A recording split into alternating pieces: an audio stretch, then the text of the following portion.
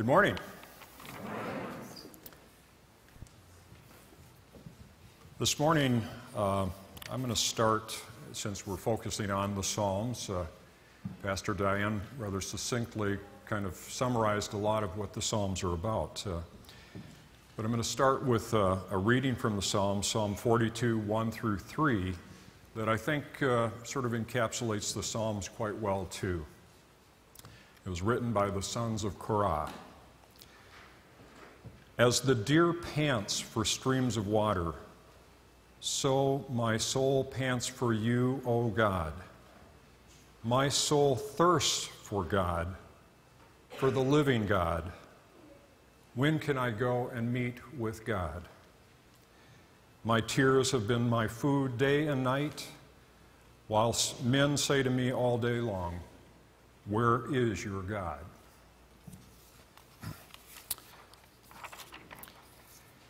Well, in choosing today's message, uh, I struggled a lot, like Pastor Diane suggests sometimes, in terms of how to title this. Uh, I considered the prayer book of the Bible, uh, in the heart of the Bible, in the middle of it all. Uh, while each would have been a good choice, I simply went with the Psalms in the end. Today, we'll be doing kind of an overview of a very significant book within the Bible called the Psalms.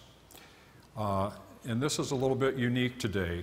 Uh, rather than building a sermon on an individual psalm uh, or passages within them, which certainly could be done many times over, uh, I'm going to attempt to look at the, the entirety of the book. And part of this is driven, uh, I think, and it's appropriate today with uh, this being kind of the teacher recognition day, uh, giving a Bible out. Um, so it's appropriate. And also, recently we conducted an all church survey, and teaching scripture and Bible knowledge were two things that rated very highly. So the Spirit moved me then to uh, take this approach today. Uh, the scriptures we'll be looking at uh, were written over the course of a thousand years. So obviously, we're not going to cover every detail of, of that material. Uh, I personally became more aware of the Psalms and the importance of them a couple of years ago when my small group did a study uh, on the Psalms. So today we're going to have sort of a Cliff Notes version uh, on the Psalms. Uh, and I, I guess I would encourage you after today to, if you have time, to look more closely into the book of Psalms. My group studied a short term disciple Bible study uh, from Abingdon Press uh, called Invitation to Psalms. It contains 10 different segments in it. It has a DVD uh, that you can watch, uh, and in the DVD, they have readings of the Psalms, followed by uh, some theologians that uh, give their insight into what was read and into the Psalms. And then there's also a workbook that accompanies it that lets you uh, actually read through the entire book of Psalms uh, with some guidance. Uh, this material will be in our church library and available for either you in a small group or you individually to, to turn to. Uh, as we go forward, uh, you might even be uh, inclined to grab a Pew Bible. and there are notepads in the pews that you could take notes if anything strikes you. Uh, the Psalms are pretty easy to find. Uh, they're literally located right in the, the middle of the Bible. Uh, I uh, looked at the pages in the Old Testament. There's 890 pages there, 261 in the New Testament. That makes a total of 1,151 pages. And uh, the half of that is 575 and a half, which puts you right in the middle of the Bible, which is the Psalms, Psalm 135. Uh, so, could there be a reason why the Psalms are located right there in the middle? Um, and to begin with, I guess, why is it important for us to turn to the Bible anyway? Perhaps the answer lies in Psalm 119.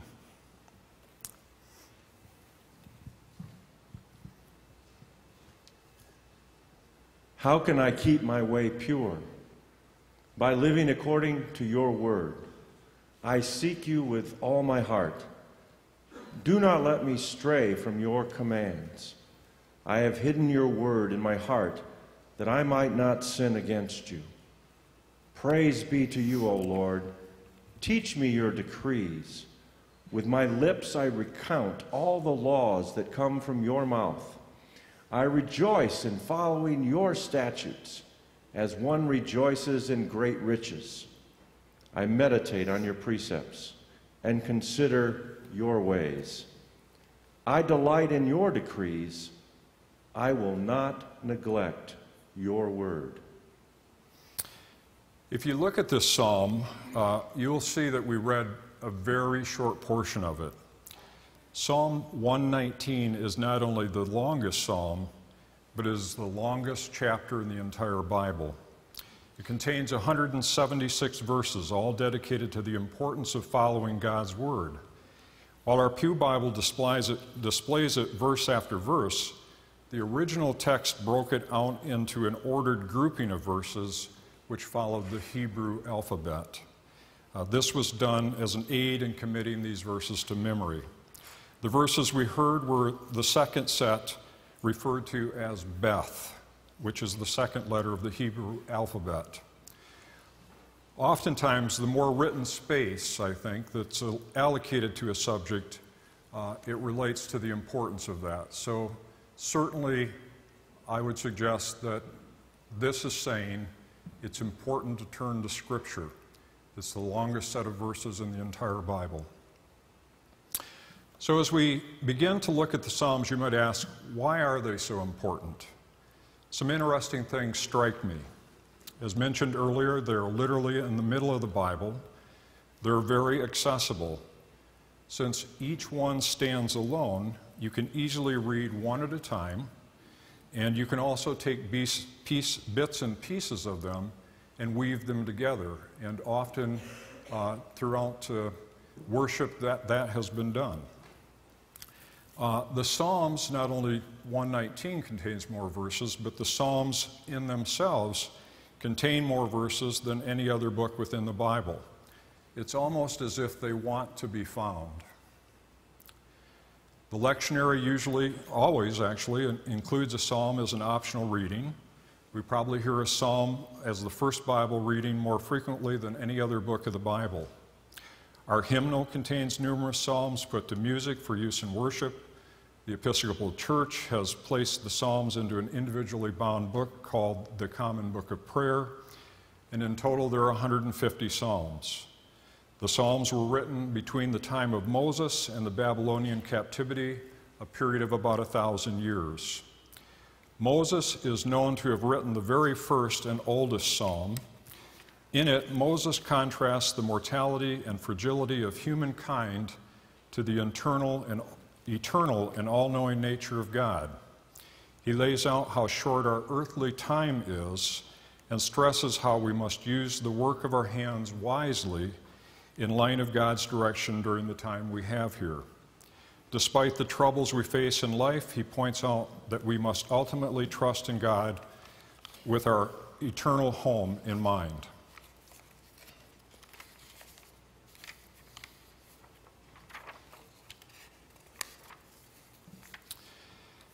So I'll read Psalm 90.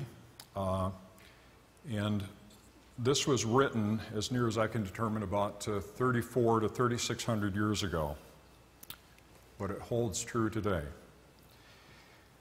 Lord, you have been our dwelling place throughout all generations. Before the mountains were born, you brought forth the earth and the world. From everlasting to everlasting, you are God. You sweep men away in the sleep of death. They are like new grass of the morning, though in the morning it springs up new, by evening it is dry and withered. You have set our iniquities before you, our secret sins in the light of your presence. The length of our days are 70 years or 80 if we have strength, yet their span is but trouble and sorrow. For they quickly pass and we fly away. Teach us to number our days aright, that we may gain a heart of wisdom. Have compassion on your servants. May the favor of the Lord our God rest upon us. Establish the work of our hands for us. Yes, establish the work of our hands. While Moses wrote this one psalm, there are at least seven other writers of the Psalms, but David uh, is most associated with the Psalms as he wrote almost half of them, uh, and totaling about 73 that we know of. Uh, the, about 50 or so Psalms are unascribed, yet some people feel that David wrote some of those as well. While the, the Psalms appear as one book, they're actually composed of five books which mimic the five books of Moses. Those books being Genesis, Exodus, Leviticus, Numbers, and Deuteronomy. Psalms is one of two books from the Old Testament most frequently quoted in the New Testament. The other contender would be Isaiah. Jesus himself frequently quoted the Psalms. He often addressed his Father using a psalm. While the Psalms are generally considered poetry, as Diane mentioned, they are done in a different style than most poetry of today. They are also very rich in image, imagery, thus, we're wrapping some projected Im- images into the service today. The Psalms have been categorized in many different ways by those who have studied them intensely. Some categories would include shared community prayer, individual prayer, lament and petition, praise and thanksgiving, trust, and hymn, among others. There are several Psalms that are in each of those categories within the book. The Psalms have served as inspiration in many ways and in many forms. There's even a revival of this within contemporary music and art. Martin Luther said that the entire Bible, quote unquote, is contained in the Psalms. Dietrich Bonhoeffer, a German minister executed by the Nazis near, near the end of World War II, referred to the Psalms as the prayer book of the Bible. Perhaps John Calvin uh, made the most stunning comments. He called the, the Psalms an anatomy of the parts of the soul. He goes on to say there is no emotion of which anyone can be conscious that is not here represented as a mirror. The Spirit of God brings life to these pages, all the griefs, sorrows, fears, doubts, hopes, cares, and perplexities with which our minds are likely to be consumed. Calvin also says that the genuine and earnest prayer proceeds from a sense of our need, and next, from faith in the promises of God.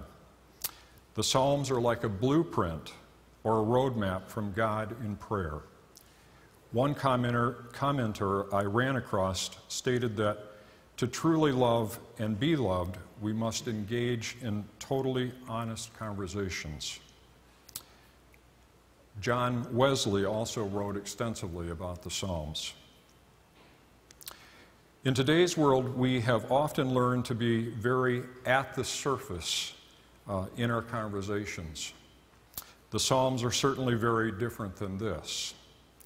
They allow us to enter the inner room and peek behind the closed door at true and honest prayer. In this way, we are given a doorway to connect to ourselves and to God. From the peaks of joy and praise to the depths of personal and community despair. So let's begin our look at a few of the Psalms. Since we have a limited amount of time, many of the readings here that we'll hear are very condensed or slightly amended, thus, you may wish to read them uh, in full later. So, note, most of the readings are coming from the the New International Version of the Bible.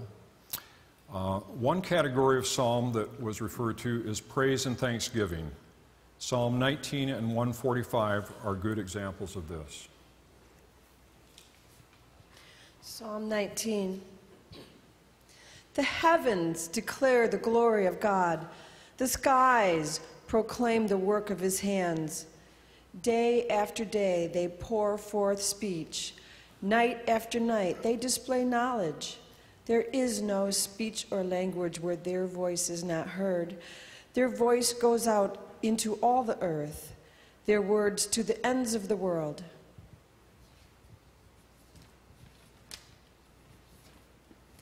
Psalm 145. I will exalt you, my God the King. I will praise your name forever and ever. Great is the Lord, and most worthy of praise. His greatness no one can fathom.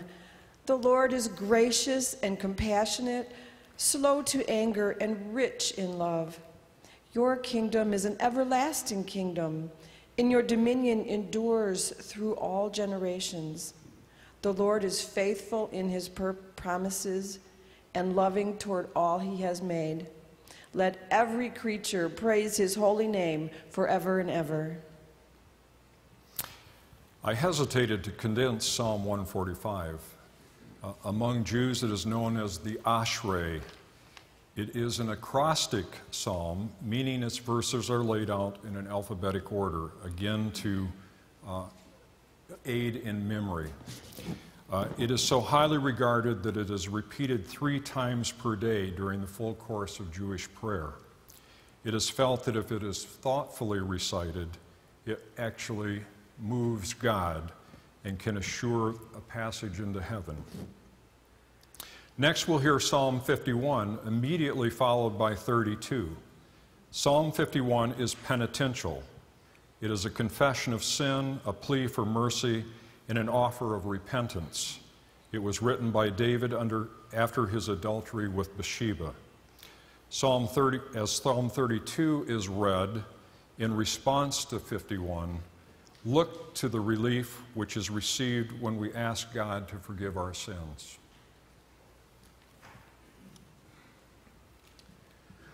Have mercy on me, O God, according to your unfailing love According to your great compassion, blot out my transgressions, wash away my iniquity, and cleanse me from my sin.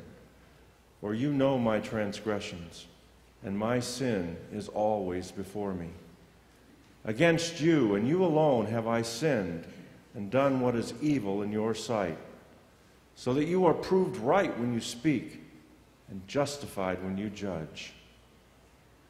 Create in me a pure heart, O God, and renew a steadfast spirit within me. Do not cast me away from your presence or take your Holy Spirit from me. Restore to me the joy of your salvation and grant me a willing spirit to sustain me.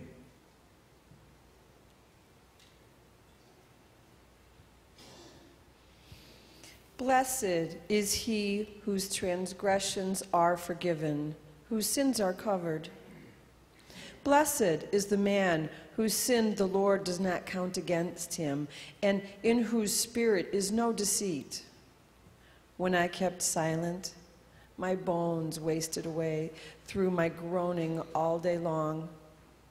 Then I acknowledged my sin to you and did not cover up my iniquity. I said, I will confess my transgressions to the Lord.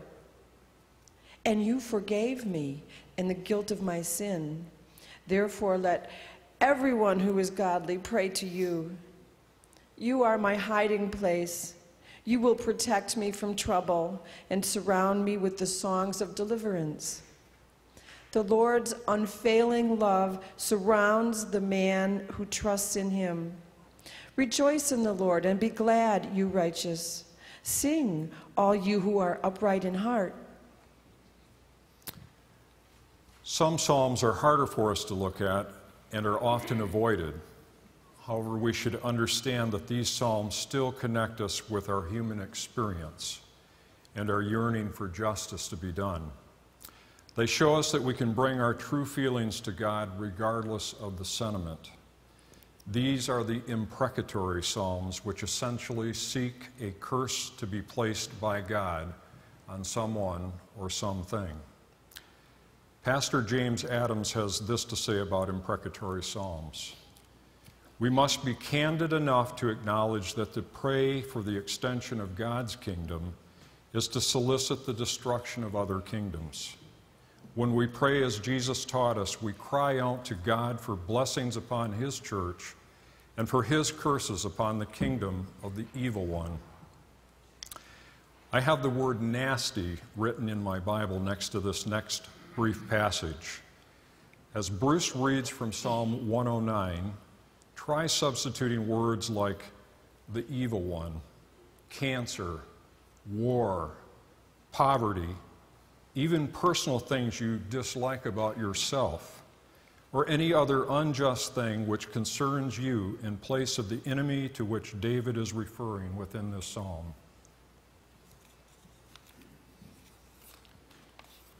O God, whom I praise, do not remain silent. When the wicked one is tried, let him be found guilty. May his days be few. May his children be fatherless and his wife a widow. May his children be wandering beggars. May they be driven from their ruined homes. May strangers plunder the fruit of his labor. May no one extend kindness to him or take pity on his fatherless children. May his descendants be cut off, their names blotted out from the next generation. May the iniquity of his fathers be remembered before the Lord. May the sin of his mother never be blotted out. May their sins always remain before the Lord, that he may cut off the memory of them from the earth. Perhaps the most important psalm of lament is Psalm 22. It was written by David hundreds of years before Jesus. There are several psalms which are believed to refer to the promised Messiah. See if you hear Jesus while hanging on the cross, carrying the burden of our sin.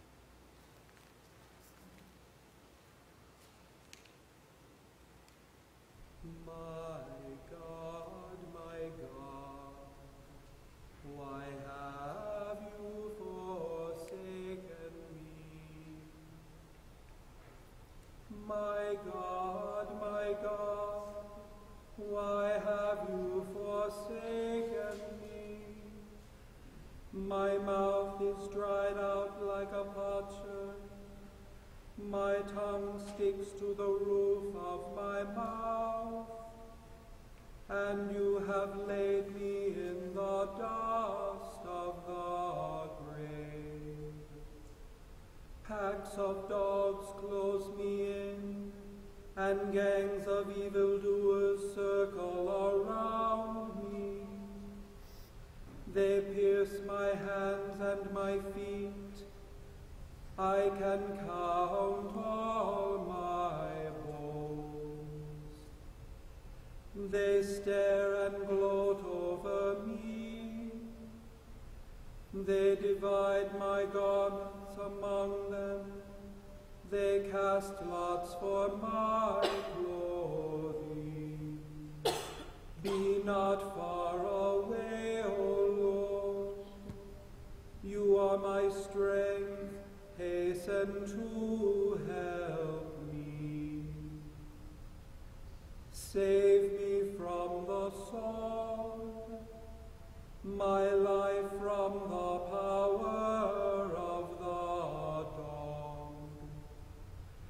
Save me from the lion's mouth, my wretched body from the horns of wild bulls. I will declare your name to my brethren. In the midst of the congregation I will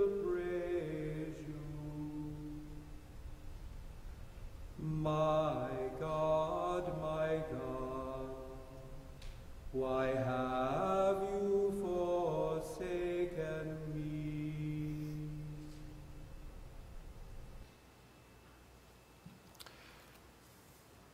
Perhaps it's no um, coincidence that Psalm 23 immediately follows this. It may be the most familiar of our Psalms uh, as it's um, most frequently heard at funerals, but it's a comfort at any time, and it's considered in the category of a song of trust. The Lord is my shepherd, I shall not want. He makes me lie down in green pastures. He leads me beside still waters. He restores my soul. He leads me in right paths for his name's sake. Even though I walk through the darkest valley, I fear no evil. For you are with me. Your rod and your staff, they comfort me. You prepare a table for, before me in the presence of my enemies. You anoint my head with oil. My cup overflows. Surely goodness and mercy shall follow me all of my, all of my life, and I shall dwell in the house of the Lord my whole life long. So, what is my take on the Psalms? The Psalms are us. The sentiments expressed are eternal to the human condition. They are us as we live in the here and now between what is past and that which is yet to be. While we may need to modify some of the Psalms to fit our individual life circumstance, they are a blueprint from God for doing so. Others remain eternal with no modification needed. They are a gift. They are our souls as we work to reconcile what we see and experience in this life with our striving for relationship to God. They are words given to us by God to help us be honest not only with our personal connection to our soul, but to Him as well. The Psalms are words from God telling us that He understands us, He hears us, and much like a psychotherapist, He is echoing back to us what He knows we feel. He wants us to bring ourselves to Him as we are. Our God wants us to be in an honest and loving relationship with Him. Within the Psalms, He provides those directions like the voice of a GPS as it directs us to our destination.